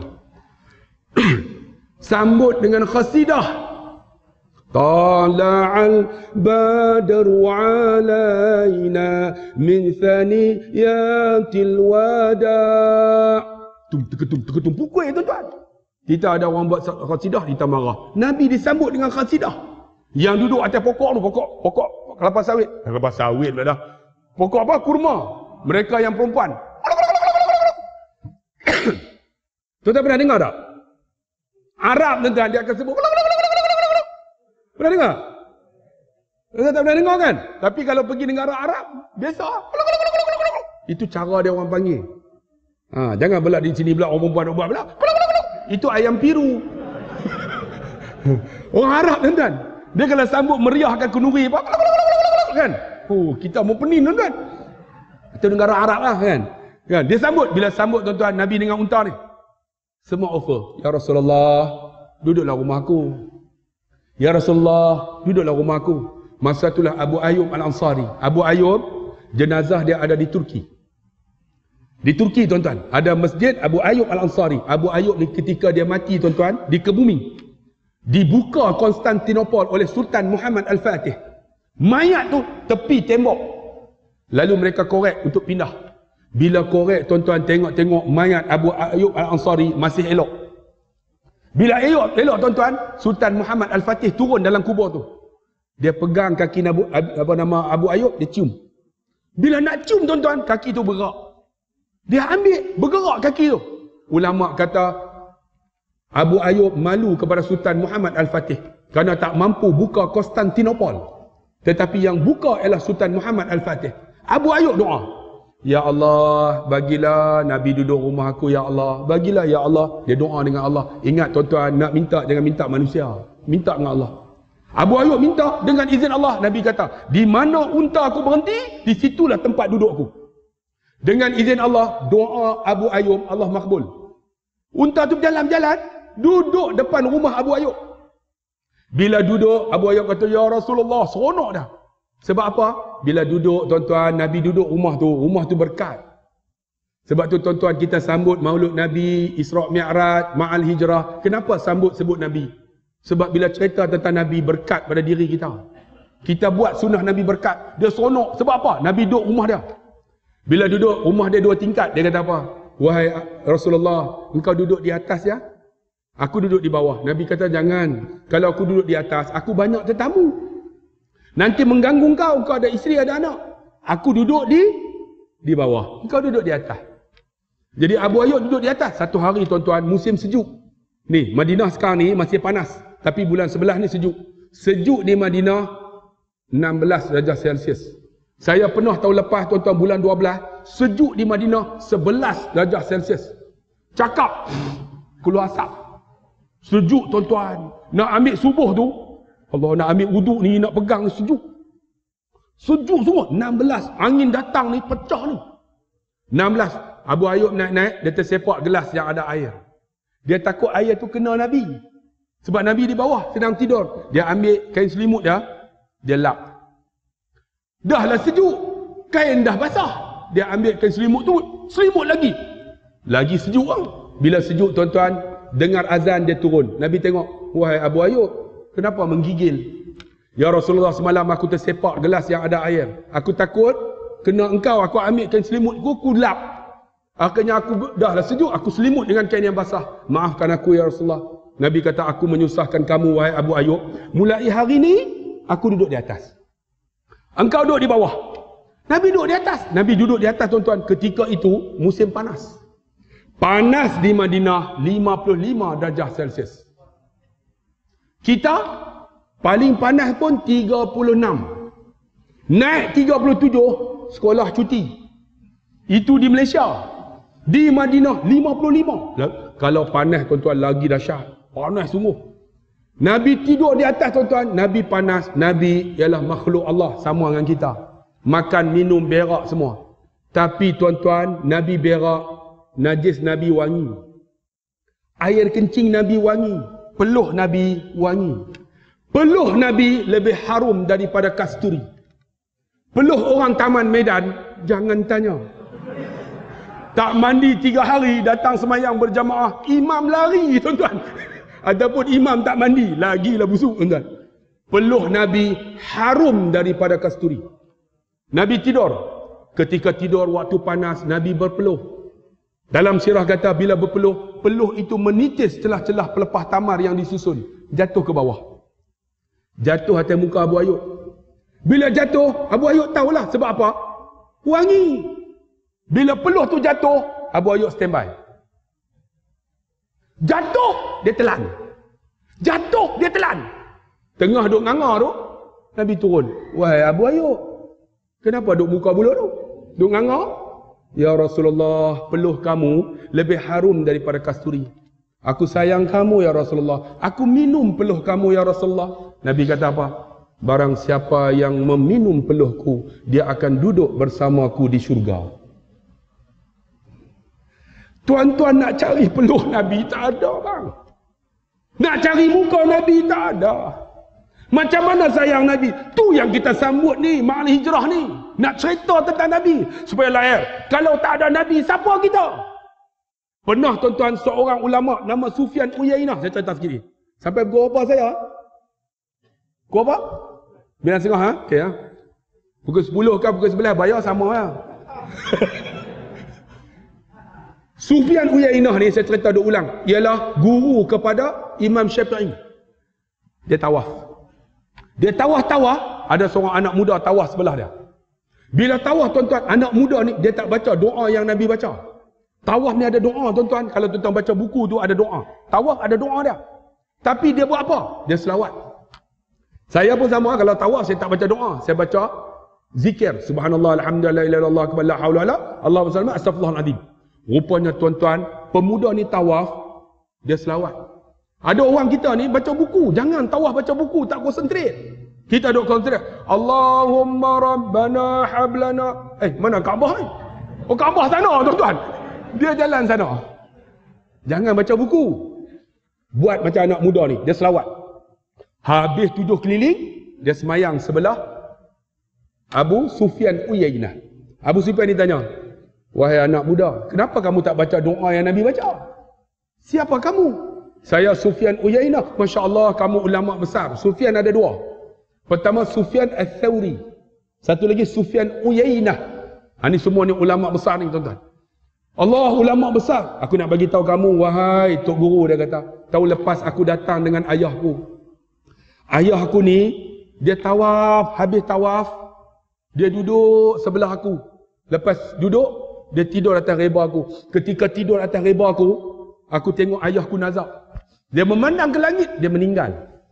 Bila ayahku meninggal di atas reba aku, aku tengok tiba-tiba wajahnya, seluruh tubuhnya bertukar warna menjadi hitam. Hitam dia kata. Aku berdoa kepada Allah supaya ayahku bertukar semula jadi putih. Sehingga aku tertidur. Ketika aku tertidur, tiba-tiba datang seorang lelaki berseri wajahnya. Lelaki itu duduk di sebelah ayahku yang meninggal ni. Yang kulitnya, wajahnya warna hitam. Lalu lelaki tadi usap daripada kaki ayahku ni. Sampai ke muka. Dengan izin Allah bila lepas diusap wajah ayahku dan tubuh ayahku bertukar menjadi berseri-seri. Aku tanya wahai saudara siapa saudara? Lalu lelaki itu kata masa hidup ayah kamu ni buat banyak maksiat bukan? Dia kata ya ayahku banyak maksiat.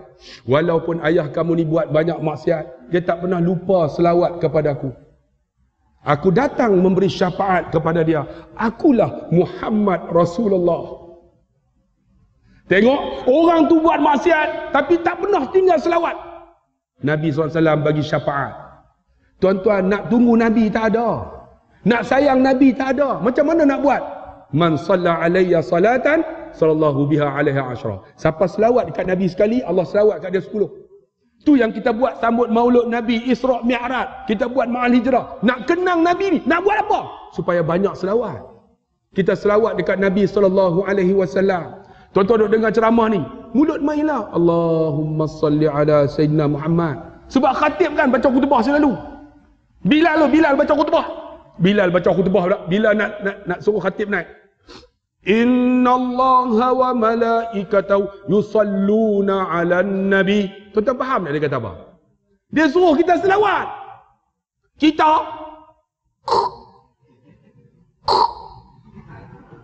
ada orang tuan-tuan dia duduk macam macam itulah macam anjing tu Duduk-duduk kan, terbuka.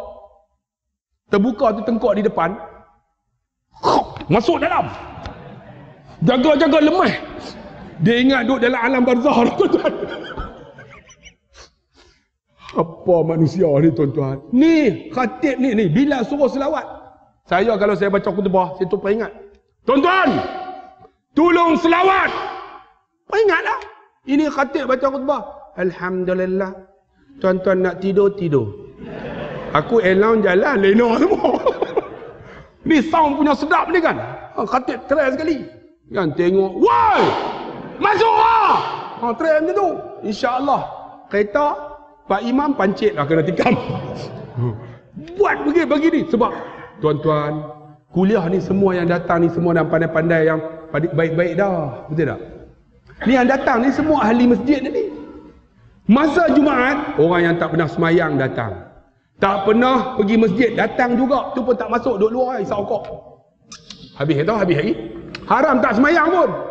Tapi datang juga. Ada yang datang masjid, pergi tandas, tak masuk masjid. Masa tu baca khutbah. Pagi betul-betul, 20 minit ya. Jangan panjang. Tuan-tuan, sila masuk masjid. Ha, dia tu try sekali. Panggil sekali, panggil, panggil saya sekali. InsyaAllah tuan-tuan. Saya pernah baca khutbah macam tu tuan-tuan di Sungai Buloh. Kan? Lepas itakullah, tuan-tuan, jangan tidur. Suara saya kuat. Kebanyakan pegawai kerajaan, dia orang duduk tepi-tepi tu lena semua. Dia yang duduk tepi-tepi tu pegawai kerajaan tu ataupun pencen pegawai kerajaan. Sebab dia parking tempat tu siap dah. Saya naik-naik, saya kuatkan suara. Lepas itakullah, tuan-tuan, jangan tidur. Ada seorang pak cik tu duduk lena. Dia datang pukul sebelah. Pencen dah. Saya kata, jangan tidur. Terkejut. Terus bangun-bangun dengan mata merah. Kuang ajar, kuang ajar, kuang ajar. Lepas tu dia start kereta balik weh tuan-tuan. Pak cik tu kurang ajar betul lah tuan-tuan. Ni memang main peranan. Nabi ni ihmar ainahu. Baca khutbah merah mata. Wa ala sautuhu tinggi suara. Kita jangan merah mata, tinggikan suara. Mana yang nak tekan tu? Tuan-tuan, kita masuk rumah Allah, tolong jaga kasut kita letak elok-elok. Tuan-tuan ingat tak masjid terbaik yang ketiga terbaik Malaysia, Masjid Bertam Indah jamaah mereka di educate. Educate macam mana? Nak masuk tu parking elok. Parking elok. Ni kasut Taman Medan. Alhamdulillah. Aku di bawah, depa letak atas aku penuh. Mana disiplin kita orang Islam? Tuan-tuan, mana disiplin? Ni khutbah ni kena bagi tahu. Tuan-tuan, kita ni orang Islam, disiplinnya sangat penting. Tolong jaga kasut kita bagi parking elok. Keren sekali kan? Kalau kasut boleh pakai elok, tengoklah orang Islam kita lebih disiplin, lebih hebat. Kita semua ada tuan-tuan. Nak makan ada, nak tidur ada, nak berak ada, nak buat apa? Nak masuk masjid ada. Semua dah ada disiplin dah. Semua daripada Nabi. Mana ada agama macam ni? Tapi kita tak nak buat bang. Dijumpa tiap-tiap minggu dengan khutbah. Kemudian jumpa pula setiap tahun dua kali dengan khutbah raya dan khutbah raya haji. Kemudian jumpa pula setiap tahun seluruh umat Islam. Di mana? Wukuf di Padang Arafah. Tapi mana umat Islam? Woi, Taman Midan, bangun. Satukan dengan ekonomi kita. Hijrahlah tuan-tuan. Kita beli barangan orang Islam dulu. Kita beli ekonomi meningkat. Orang Islam akan naik. Tak rugi bang. Kalaulah tuan-tuan nak beli, pergi kedai orang bukan Islam. Cari barangan orang Islam. Barangan makanan, makanan. Makanan, biar makanan itu orang Islam punya. Garanti halal. Jangan pula datang jumpa saya, ustaz-ustaz, ada tak paku halal? Paku Paku tuan-tuan belilah kedai mana pun. Makanan, nasi, beras, cari yang halal. Orang Islam lah. Kalau pergi kedai orang bukan Islam, beli yang barangan orang Islam. Banyak tuan-tuan. Sekarang ni tuan-tuan, baru tubuh seminggu. Persatuan Ekonomi Muslim. 1.5 juta dah ahli dia. Kami dalam tu lah tuan-tuan. Dalam tu ada masalah barangan orang Islam tak dibeli masuk dalam tu. Orang Islam cepat ambil tindakan. 1.5 juta. Tuan-tuan cari dalam tu. Uh, grup, WhatsApp grup persatuan uh, Facebook persatuan ekonomi Islam. 1.5 juta dalam masa seminggu ditubuhkan. Alhamdulillah sekarang ni baru ni ada cili daripada Kuala Kansar satu hari satu tan dia orang tak nak beli ni orang Islam punya Dia masuk dalam tu dalam masa dua jam. Ada pasar raya orang Islam cover tuan-tuan. Tengok hebat orang Islam kita. Baru saya tahu tuan-tuan rupanya kicap orang Islam ni cukup banyak. Kampung saya ada dua kilang. Kicap kampung saya saya pun tak tahu. Pergi tengok ya satu nama Hayati, satu nama Edi, Edi. Rupanya kampung saya ada dua. Kami tak tahu tuan-tuan. Sekarang bila masuk baru tahu. Oh, rupanya orang Islam punya dahsyat tuan-tuan. Kita tak nampak. Bangun tuan-tuan. Sebab tu khutbah ni bagi elok, bagi power. Kan? Baca-baca khutbah juga. Tambahlah sikit kan. Alhamdulillah. Ini Alhamdulillah. Kalau di bendang, uh, tuan-tuan jangan lupa tabur baja. Tabur baja tuan-tuan cerita pasal baja. Cerita sikit. Marilah kita bangun. Kita perkukuhkan ekonomi kita. Dengan memberi barangan orang Islam. Tuan-tuan. Woi! Ha, terkah macam tu. InsyaAllah. Ini Alhamdulillah. Bersyukur kita kepada Allah. Hmm, yang yang Leno Teres sekali. Bagi power sikit kan?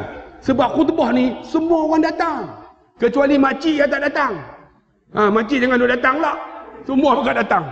Perempuan penuh kita tak semayang. Lah kali mereka jadi imam tuan-tuan. Sebab tu tuan-tuan yang dikasih rahmat ya Allah Itulah yang kita buat. Ustaz bagi tahu saya, nak hijrah apa? Tajuk kan? Nak hijrah apa? Bang, yang ada ilmu tambah ilmu. Yang tak ada ilmu belajar. Jangan duduk saja. Yang dah jadi elok tu banyak zikir, banyak baca Quran. Jangan lupa ni tambah ibadat. Inilah bekal kita di akhirat. Saya 51 dah, kawan ramai dah meninggal. Tu pun termenung lagi tuan-tuan duk fikir malam-malam. Apa aku nak bawa ni masuk alam barzah? Tuan-tuan tak fikir kan tuan-tuan yang umur 50 ni? Tu pun tidur kadang tak lena. Ya Allah, aku duduk ceramah ni, aku tak buat pun kadang-kadang.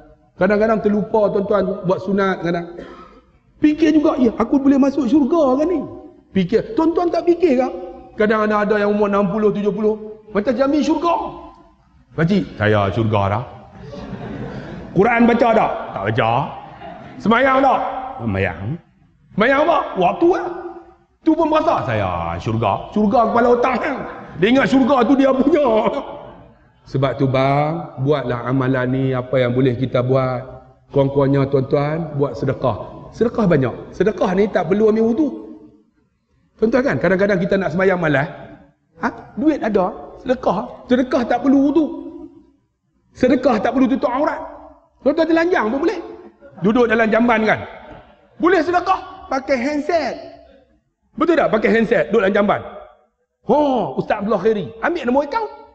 Berapa ketul jatuh? Itulah tuan-tuan kena kira.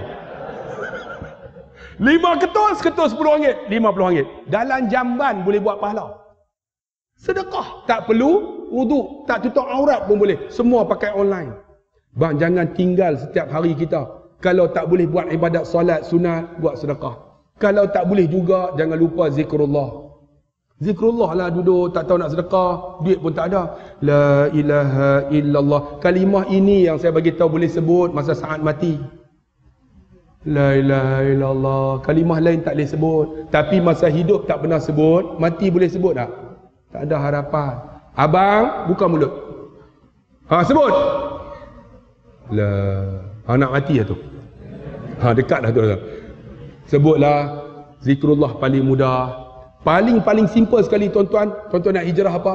Tuan-tuan kena ingat doa dekat mak ayah banyak buat baik lah. Buat baik dengan mak ayah, murah rezeki, Allah tolong segala-galanya. Saya ada ayah, ayah masih hidup 84. Alhamdulillah. Dia katalah apa pun, aku tak akan melawan. Hari apa laksa? Terus nak kereta beli laksa. Katalah apa pun. Hari hari ini nak makan ikan sepat. Aku cari sampai dapat. Ha, layan macam tu. Khairi, aku nak pergi Mesir. Aku cari sampai boleh juga tuan Tapi teruk ah. Bawa juga. Sebutlah apa? Sebab apa? Rupa-rupanya tuan-tuan murah rezeki. Sementara mak ayah ada dah. Mak tak ada dah, tapi ayah ada. Tapi murah rezeki ya tuan-tuan. Ayah masih hidup. Alhamdulillah lah boleh entertain bangun pagi pergi jumpa. Kalau ada lah ayah ini nak makan tak? Nak ah. Terus bawa kereta pergi makan. Dia senyum seronok. Murah rezeki tuan-tuan. Tapi kalau tak ada, tuan-tuan jangan lupa doa banyak-banyak. Rabbil fili wali walidayya warhamhuma kama rabbayani saghira. Dia duk menanti doa tuan-tuan sekarang. Sebab Nabi kata waladun salihun yad'ulah. Anak yang soleh yang doa. Tuan-tuan doa dah. Doa bang, Rabbi ufili wali walidayya warhamhuma kama rabbayani saghira. Nu sono mak ayah kita tu. Ataupun tuan-tuan doa, Allahumma ja'al qabrahu rawdatan min riyadil jinan wa la taj'al qabrahu faran min hufarin niran. Jadikan kuburnya ni tuan-tuan, ni taman-taman syurga, bukan lubang neraka. Kalau tak boleh bahasa Arab Melayu, duk nanti tuan-tuan tu. Tuan-tuan murah rezeki, panjang umur insya-Allah. Tuan-tuan sihat tubuh badan. Bang, hijrah buat benda baik. Jangan tangguh. Mana nak tahu keluar masjid ni Allah ambil nyawa kita. Memang 51 bang. Macam-macam penyakit ada. Nampak ya. Sehat nampak sihat lah. Duk rekah orang. Hmm, jangan tanya. Tuan-tuan bawa tuan-tuan. Blood pressure. Akulah dia. Tuan-tuan bawa cek kencing manis. Akulah dia. Sembang derah ya tuan-tuan. Sebab tu duk fikir. Banyak penyakit aku ni. Kan? Tuan-tuan renunglah. Saya pun renung. Ni ustaz ni. Kadang tak boleh tidur tuan-tuan. Apa aku nak bawa ni. Nak bertemu dengan Tuhan aku ni. Kadang-kadang kata Tuhan takut apa? Dia menciptakan kita. Dia lah. Dia nak masuk dalam tu kita nak nampak kan. Hei apa nak bawa ni? Allahu Akbar. Bang, insyaAllah 9 lebih dah tu. 9.40, eh 36, 37. Saya jumpa lagi dua kali dah saya datang ni. Okey, okey no. Ni tak ada politik malam ni. Ha, dia kau okey dah tu. Ha, Ustaz dah beritahu dah. Jangan, jangan, jangan, jangan. jangan. Tak ada politik. InsyaAllah tak ada politik. Tapi dekat dengan PRU 15, hampa jangan panggil. Panggil aku balon tu aku tak kira. Lah ni tapi sikit lah tuan-tuan. Sekarang pun dah okey dah perpaduan ummah tu nampak. Semalam tadi uh, saya pun ada di situ lah menangis tuan-tuan. Kita bergaduh lama dah. Tapi bila dibaca tu kan, sebab semua sebab. Menangis tuan-tuan. Tuan-tuan akan rasa suasana. Kita bergaduh lama dah. Bergaduh bukan kerana apa pun politik ya. Kita dah. Sebenarnya kita persamaan kita cukup banyak. Kita sembah kiblat yang satu. Kita duduk masjid yang satu. Kita pakai baju yang sama, baju Melayu. Kita sujud pada Allah yang satu. Banyak persamaan kita. Tapi kita cari perbezaan. Itu yang susah kita. Bila disebut tuan-tuan piagam tu, menangis semua dalam tu. Siapa yang duduk dalam tu tahu. Sebab saya ya Allah bergaduh 62 tahun. Boleh bersatu. Hebat orang Islam kita. Jadi insyaAllah tuan-tuan, kita duduk ramai-ramai bersatulah. Untuk apa? Untuk naikkan kita orang Islam ni. Tak ugi orang Islam bila naik. Kan? Kecuali dia tak mau, dia tak mau, kita tak boleh kata apalah. Saya mohon maaf jika ada silap dan salah lah. InsyaAllah kita jumpa lagi. Tuan-tuan, hijrahlah pada diri kita. Tak tak tak boleh buat, buat yang sikit. Ingat, tapi yang penting istiqamah. Bila istiqamah, Allah kata, summa istaqamu. Siapa istiqamah ni dia buat ibadat? Tatanazzalu alaihimul malaikah. Dia nak mati esok, malaikat akan turun duduk sebelah dia. Apa malaikat kata? Tatanazzalu alaihimul alla takhafu wa la tahzanu. Malaikat akan duduk sebelah dia. Jangan takut dia kata. Jangan susah hati. Alla takhafu wa la tahzanu. Wa abshiru bil jannah. Siapa istiqamah buat ibadat, malaikat turun dia kata apa? Malaikat kata kepada kita nak mati ni, jangan takut, jangan susah hati. Akan diberitahu, Allah bagi tahu dekat kamu syurga. Syurga. Jadi insya-Allah lah istiqamah lah. Kita jumpa lagi. Yang baik berallah yang lemah kelemahan saya. Aku qauli hadza wa astaghfirullahal azim li wa lakum. Wassalamualaikum warahmatullahi wabarakatuh.